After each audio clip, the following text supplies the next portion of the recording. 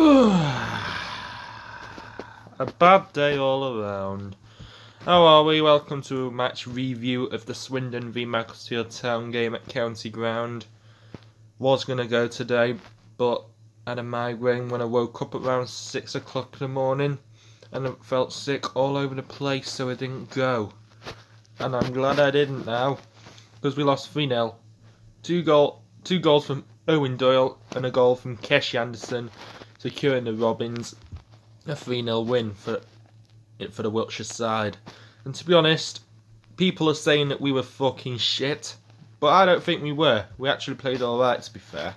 And people are disrespect are or slagging Daryl McMahon off and wanting him out the club. He's not another Mark Yates, not in my opinion. There is some positive vibes going. Bryson Tamlin when he came on for Connor Kirby, I thought he did alright from what I saw some some reports. And Arthur Gnahoua, why is he not starting ahead of Archibald?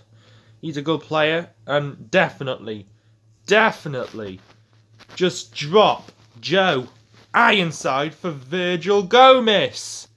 He's not fit to play. Joey Ironside, yes, I know he scored two goals, but they were both pens against Scunthorpe and Stevenage, two relatively poor sides in League Two. Yeah, but he should be dropped for Virgil Gomis because he Virgil Gomis scores big goals like that one against Blackpool in the Carabao Cup. He's actually a really good player and we should be starting him more. And another thing,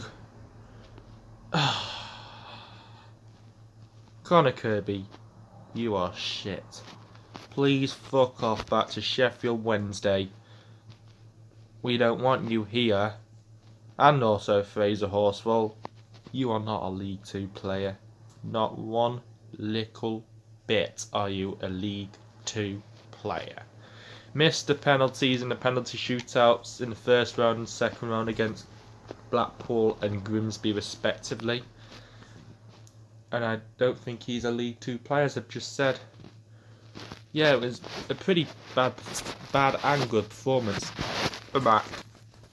Some people saying we were shit. Some people saying it's uh, it's because we're Swin playing Swindon and we're one of the best sides in League Two. And I actually do think Swindon will go to League One this year. Oh well, at least our next opponents, Newport County, they have finally lost after their 17 game unbeaten run. That was to Northampton. And they lost 2 0. Salford have ended a run of five straight draws by losing against Cheltenham 2 0 at Moor Lane. Goals from Ryan Broom securing the Gloucestershire side a 2 0 win at Moor Lane.